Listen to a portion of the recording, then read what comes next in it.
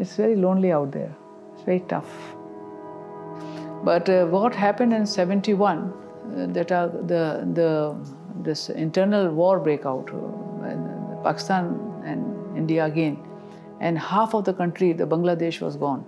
And that is where, surrounded with my three children and all, I, I had a, my, a shiver in my back and I said, something is not right in this country that I do not know.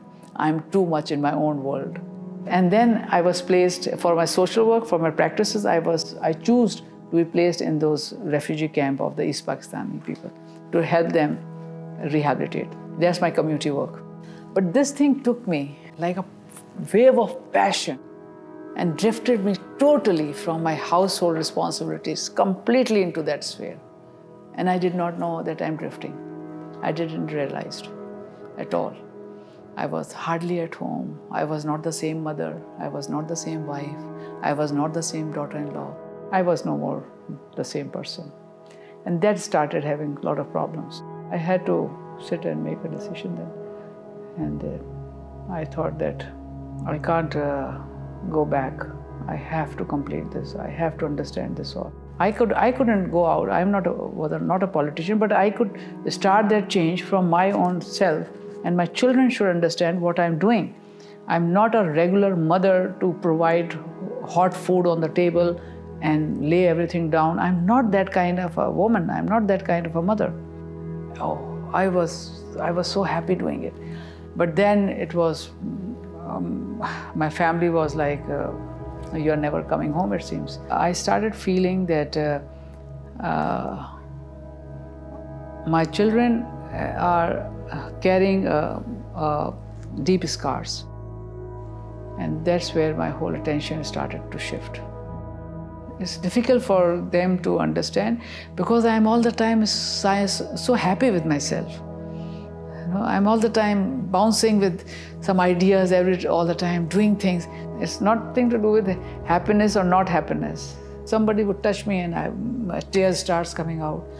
Bad communication. So those things started hitting me. And I realized that. And when this thing came, uh, well-being, I was very happy.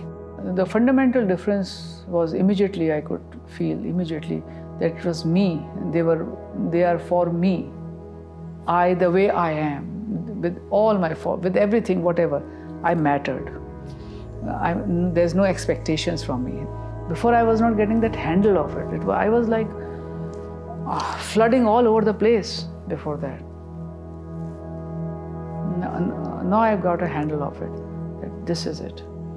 So I am I'm able to I am now a better listener to my children or from wherever I want to do this healing from. I use my own inner self, go through it myself and create something and every time it's created and then i can give to the masses at a large scale you have strength and you have you have ability to process all kinds of challenges pain that life has given you and converted into a meaningful